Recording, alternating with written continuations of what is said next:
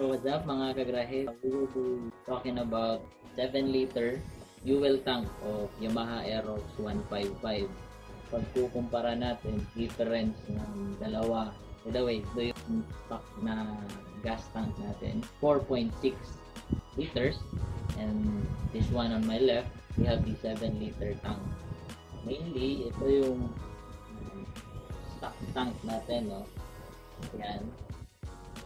May fuel pump pa siya. You can see over here. Galing pa to sa motor natin. So, kakabaklas lang ito. This one is the actual 7 liter. So, may sticker pa. Galing pa to sa kakarating pa lang kasi ito all the way from Manila. Yan mga kagrahe, no? Ipapakita natin kung mabaklasin ang fuel pump.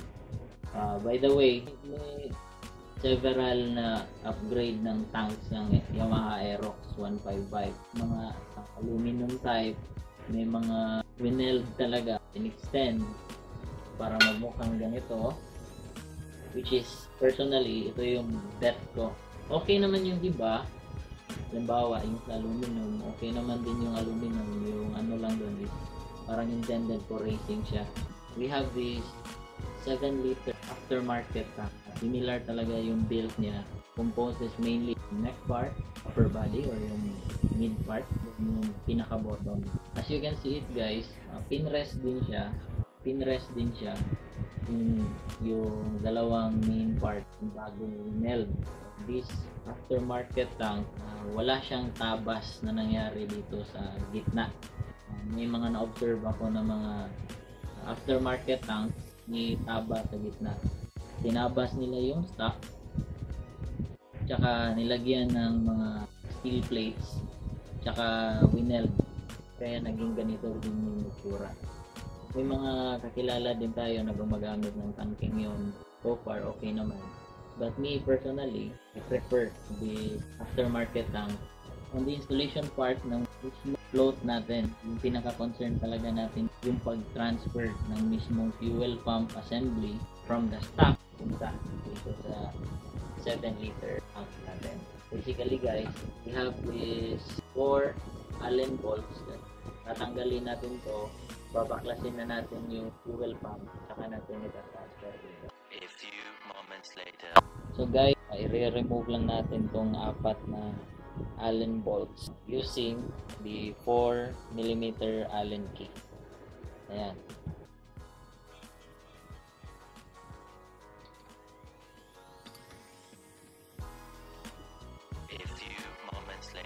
After that, we will be removing na the actual fuel pump. So dahan-dahan lang guys kasi medyo sensitive siya. May mga electronic sa loob and we don't want na masira yung mismo yung mga wires din sa loob.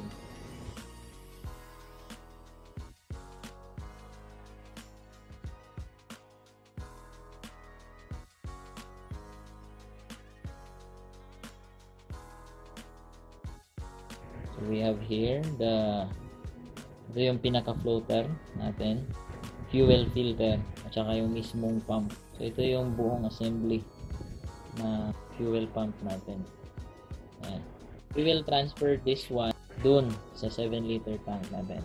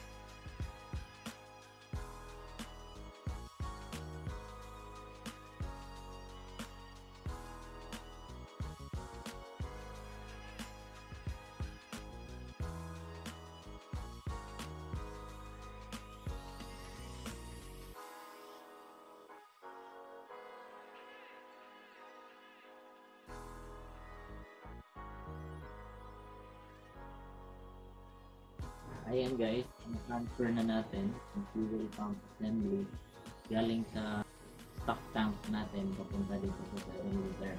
Ayan. After this, mag-leak test muna tayo. So lalagyan muna natin na fuel. Pero kakaunti lang para ma-check natin kung may leak o wala bago natin i-install final. One thing also is that yung 7 liter aftermarket na to, na tangke, plug and play lang yung fuel pump niya. Literal lang talaga, nililipat mo lang talaga yung fuel pump mo sa stock tank papunta dito sa 7 liter natin.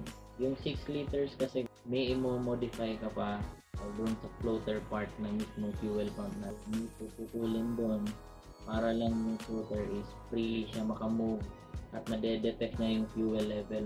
Yun yung pinagkaiba nila sa 6 liter tank o sa 7 liter tank. I-check muna natin without fuel, empty muna siya. Plug up natin yung mga electronics dito sa baba, including the fuel line. I-check natin kung mag-blink ba talaga yung one bar mismo natin gauge natin kasi yun yung pinaka-importante doon eh. mababasa talaga yung na may empty level na pag naibasa niya so lalagyan natin ng on fuel itong 7 liter tank na to bago natin ipa-final install doon sa aero natin.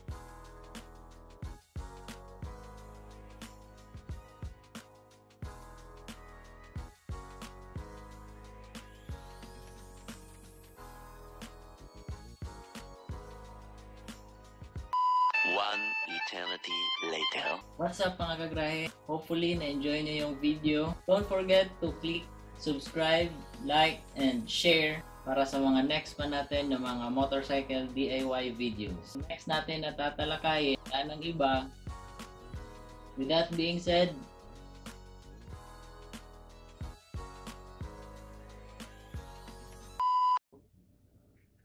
don't forget don't forget to